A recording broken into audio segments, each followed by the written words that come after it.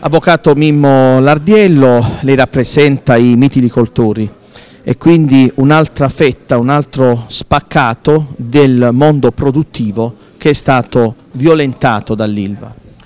Beh sì, è una fetta importante, devo dire anche che fa parte della tradizione della città sotto il profilo di questa mitilicoltura che a Taranto andrebbe salvaguardata, valorizzata e bisognerebbe addirittura secondo me farne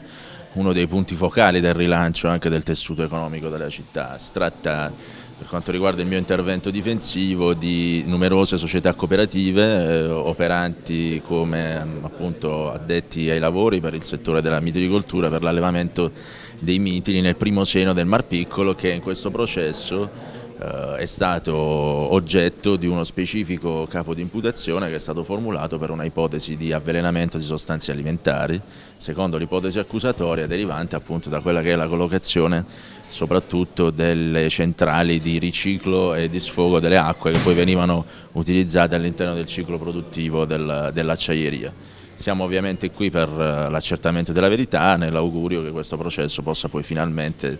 trovare un'accelerazione dei tempi e arrivare a una definizione di quelle che sono le responsabilità. Ecco, Lardiello, è vero che i legali dell'Ilva per carità devono, fare, devono svolgere la loro attività, devono fare per così dire il proprio mestiere e devono difendere comunque l'azienda anche se difendere l'indifendibile eh, è davvero un compito arduo, ma eh,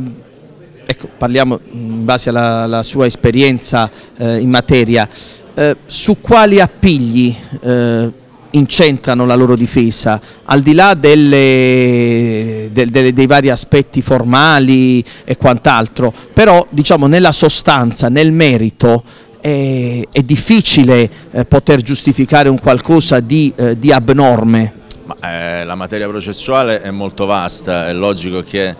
non è possibile in pochi minuti scendere nel merito di quelle che sono le singole posizioni. Uh, di fatto anche questa mattina purtroppo per quella uh, difformità formale che si è registrata su quel verbale della precedente udienza preliminare siamo regrediti in uno stato in cui i difensori mh, sotto il profilo loro legittimamente sollevano alcune eccezioni che riguardano principalmente stamattina la validità degli atti di costituzione parte civile che sono stati presentati ad esempio davanti alla Corte d'Assise che poi ha stabilito la regressione del procedimento, ma anche sulla loro legittimazione eventualmente a riproporre delle eccezioni anche sugli atti di costituzione parte civile depositati davanti al, all'altro giudice dell'udienza preliminare che ha, ha celebrato quella precedente. Sotto il profilo del merito è chiaro che si rientrerà a discutere le singole posizioni quando si avvierà nuovamente la fase delle discussioni. Noi tutti ci auguriamo, a prescindere dalle logiche difensive che sono proprie del, dei ruoli che ognuno ricopre in questo processo, che ci sia un'accelerazione dei tempi perché la città aspetta delle risposte, aspetta delle risposte in modo chiaro, non c'è dubbio che le vicende che riguardano lo stabilimento siderurgico hanno inciso in maniera profonda su quella che è la crisi che oggi Taranto vive e eh, attendiamo tutti di sapere sia se sotto il profilo risarcitorio riusciremo ad ottenere qualcosa per le decine di persone come ad esempio i mitilicoltori che sono stati fortemente danneggiati se non addirittura distrutti nelle loro attività e poi in generale per quanto riguarda le patologie insomma, che purtroppo Taranto soffre, continua a soffrire nel, nel suo cuore continuamente ferito e affondato.